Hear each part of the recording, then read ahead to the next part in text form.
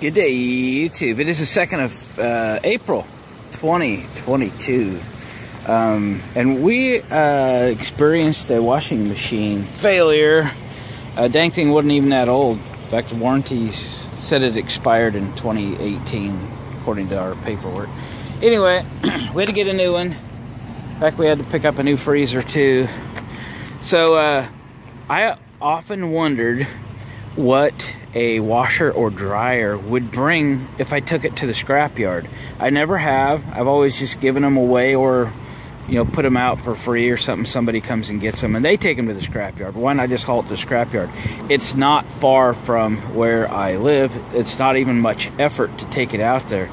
And it's a Saturday and they're open until noon. So I'm going to take this washing machine uh, to our recycler and see what we get for it. All right, let me uh, uh, continue. I'll take it out there. Maybe I'll uh, shoot just a little bit while we're there. Um, kind of go through the process um, that they go through. I take stuff there all the time, more like you know scrap metal, um, but never an appliance. So let's do this. I'm sure uh, you guys are curious because I know I was curious. Um, I've given these away in the past, but uh, they are scrappable. There's a list of what they'll take on their website and uh, we are off to Bertram's Metals. All right, gang, we made it here. We got uh, trailer unloaded.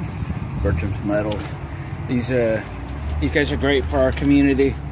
Um, it's really nice to have them here in this close. Yeah. Anyway, here's uh, what we got. More than I expected, actually. Hopefully you can see that okay. So we got a it was 147 pounds. It's a uh, $170 a ton. So I got $12.50 out of that old uh, clothes washer. A dryer's going to be a little lighter than that, just because I moved enough of them to know. And uh, obviously your washing machine might vary by weight.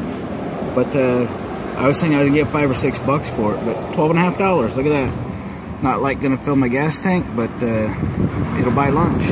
Guys, thanks for watching, commenting, subscribing. We'll catch you on the next one. Hey there.